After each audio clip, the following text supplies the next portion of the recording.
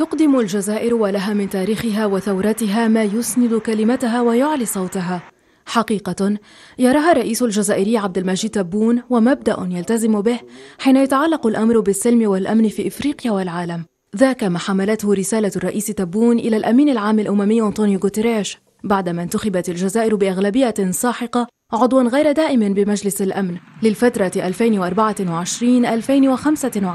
2024-2025 هذا الانتخاب في الجهاز الرئيسي للأمم المتحدة يلقي على عاتق بلادنا مسؤولية خاصة متمثلة في المشاركة في مسار صنع القرار الدولي الهادف إلى تعزيز السلم والأمن الدوليين.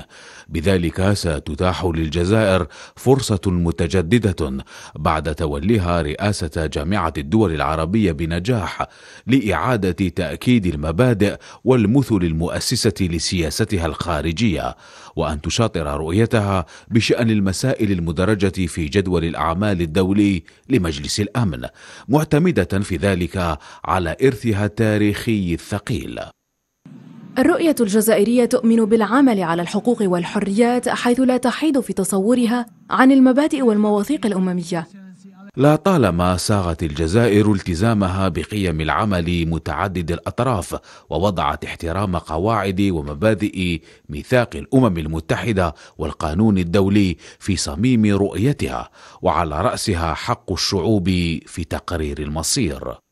ضبطت الجزائر قائمة أولوياتها يوم تخاطب العالم من مجلس الأمن كعضو غير دائم فيه. ففي الرسالة تجدد التأكيد على حمل الصوت العربي والإفريقي دفاعا عن القضايا الإنسانية والمصالح الاستراتيجية.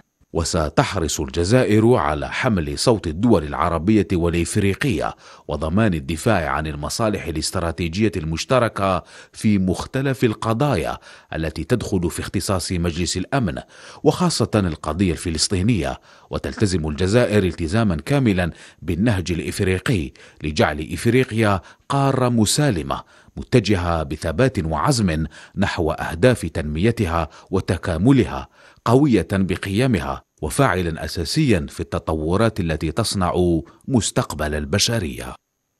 بين إسكات البنادق وإنهاء الصراعات ومنع نشوب النزاعات ودحض الإرهاب والتطرف وبعث نفس جديد قوامه التنمية المستدامة ونصرة قضايا التحرر في القارة الإفريقية تستقر أولويات الجزائر منها التي قطعت فيها اشواطا إيجابية أشارت إليها رسالة الرئيس الجزائري إلى الأمين العام الأممي ومنها مواكبة تطورات الساحه الدولية بما يضمن تعزيز السلم والأمن.